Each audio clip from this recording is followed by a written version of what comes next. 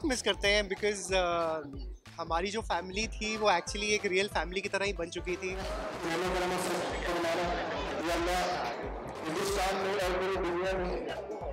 हम लोग हाँ। एक्चुअली हमने अपना पूरा जो लाइफ का एक यूथ होता है ना वो शो वो में स्पेंड किया है।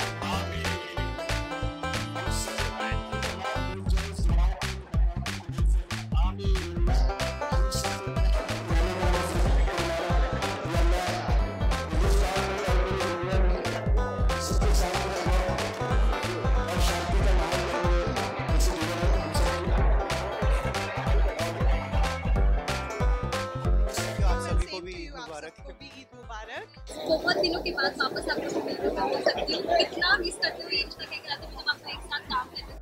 पूरी टीम को। बहुत मिस करते हैं बिकॉज़ uh, हमारी जो फैमिली थी वो एक्चुअली एक रियल फैमिली की तरह ही बन चुकी थी।